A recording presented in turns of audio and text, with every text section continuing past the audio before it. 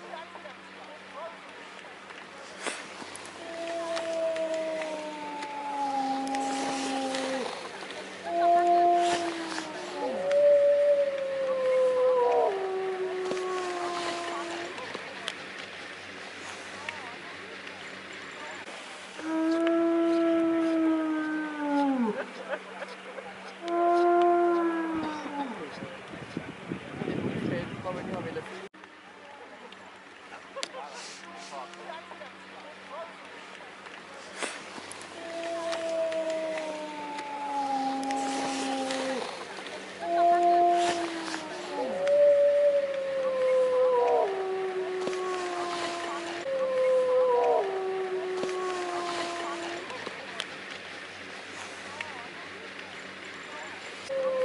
Special place, like in a way like a Shangri-La in the sky or something. It's it's a place that, uh, of course, is very beautiful. The mountains and the kind of calm atmosphere.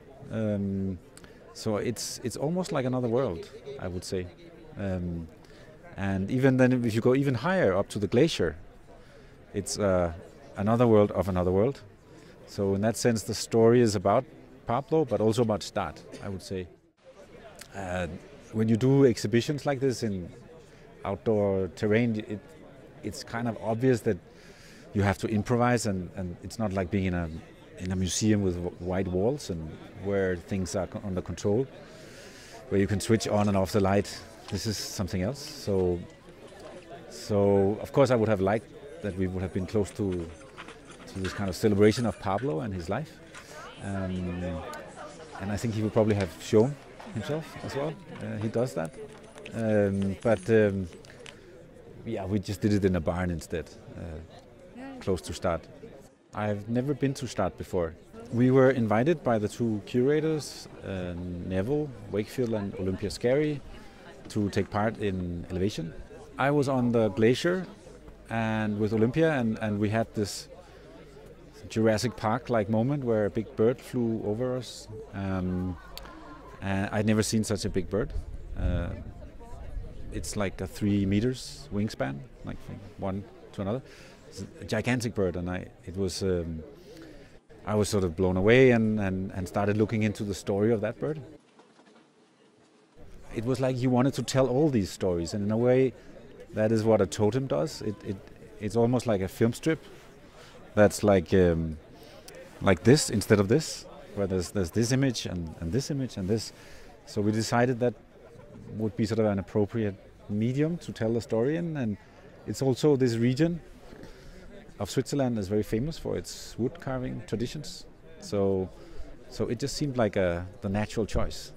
So uh, and then we're serving the kind of food that Pablo eats, which is bone marrow, and that because Pablo Pablo drops bones from great heights, and then they crack, and then he eats the marrow. So in that sense, there are three parts of this project. There's the totem, an eight meter high sculpture that we actually did in collaboration with uh, uh, a man who lives in Gstaad called uh, Huck Scarry. Um, and um, and then there is the the bone marrow soup, and then there's the film. So it's like three parts of the project.